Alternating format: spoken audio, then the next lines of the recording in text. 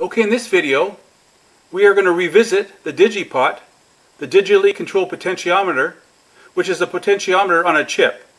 And the chip we're going to look at is the X9C103, which is a 10k ohm pot. Now the wiper position of this Digipot is controlled by a microcontroller using a three-wire interface. We can look at the pinout of the Digipot. It's an 8-pin dip, and it runs on 5 volts. Now the internal schematic of the Digipot has 99 resistors, all in series, and there's 100 taps. There's a tap for each resistor. Now we have a resistor high tap, a resistor low tap, and a wiper tap. So by microcontroller control, we can move the wiper up one tap at a time up or down on the series string of resistors to get an output resistance of 0 to 10 k ohms. Now the wiper current is limited to only a few milliamps, so we could only use this digipot for small signal applications like say an audio volume control, or we could use it for a voltage divider feeding a high input impedance device like an op amp or a variable frequency drive. So we're kind of limited to the application. So in this, in this video, we're going to look how we could build a buffer to increase the drive of the digipot so we could drive bigger loads using the X9C103 digital potentiometer.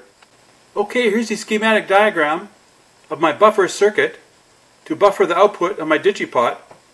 If you look at the left, you can see my digipot.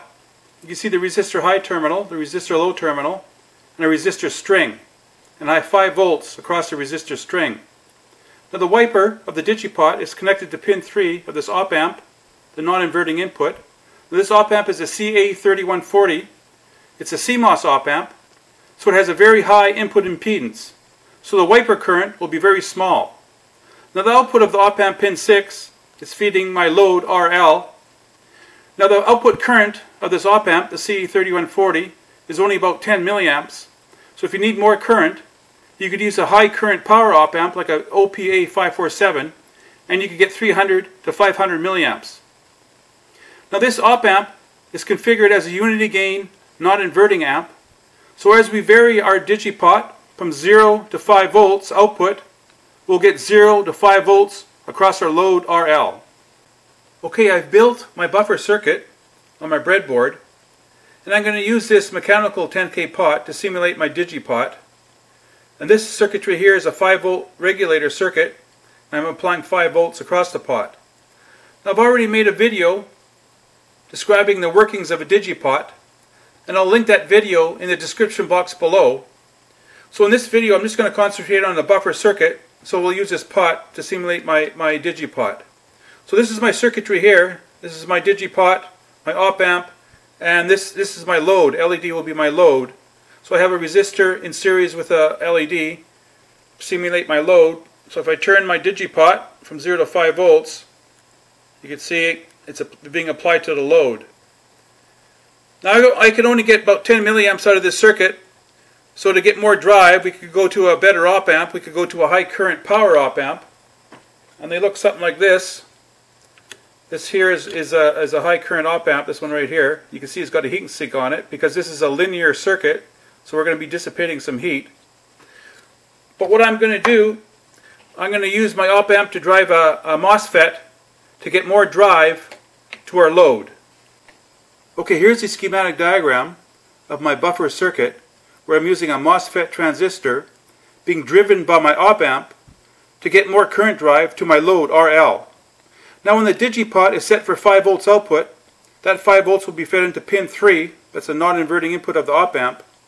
Now all op amps always want to make the non-inverting input the same as the inverting input, so it will drive the MOSFET through pin 6 until pin 2 becomes 5 volts, the same as pin 3. And that 5 volts will be dropped across the load. So even if the load resistance decreases, then, then the, the op amp will drive the MOSFET harder to bring the, the voltage back up to 5 volts.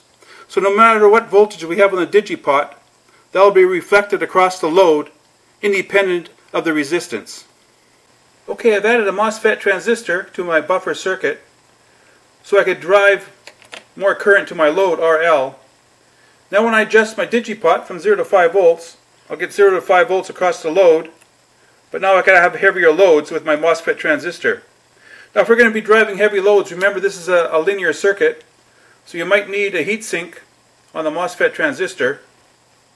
Now my rule of thumb is, if you have a TO220 package and you're driving more than 300 milliwatts through the, through the TO220 package, you should add a heatsink.